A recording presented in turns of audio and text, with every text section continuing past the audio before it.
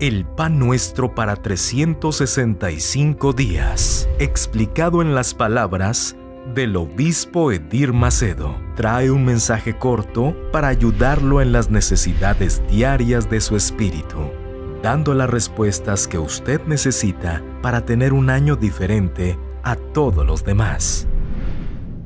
Día 206.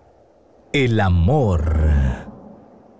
Este es mi mandamiento, que se amen los unos a los otros como yo les he amado. Nadie tiene mayor amor que este, que uno ponga su vida por sus amigos.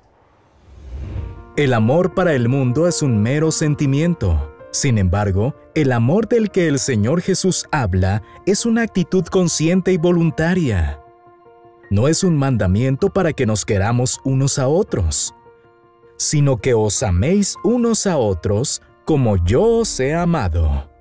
Y entonces explica el amor con el que Él nos amó, que uno ponga su vida por sus amigos.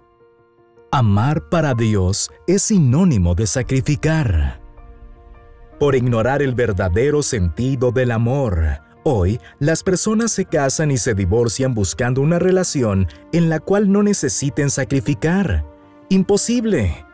Maridos, amad a vuestras mujeres, así como Cristo amó a la iglesia y se entregó a sí mismo por ella. Así también los maridos deben amar a sus mujeres como a sus mismos cuerpos. El que ama a su mujer, a sí mismo se ama, porque nadie aborreció jamás a su propia carne, sino que la sustenta y la cuida, como también Cristo a la iglesia.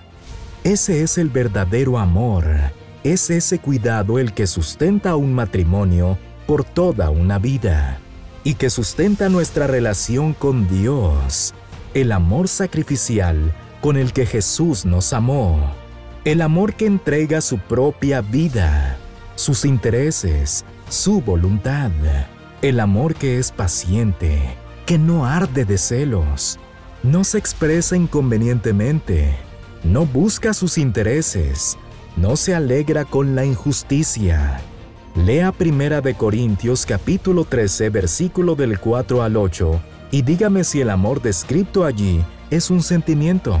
Mil veces no es una actitud del espíritu con total control emocional. Es el amor que Dios tiene para cada uno de nosotros y que debemos también manifestar. Aprenda a amar de verdad. Siga diariamente los mensajes del pan nuestro de cada día y entienda cómo alcanzar la vida con abundancia que Jesús prometió.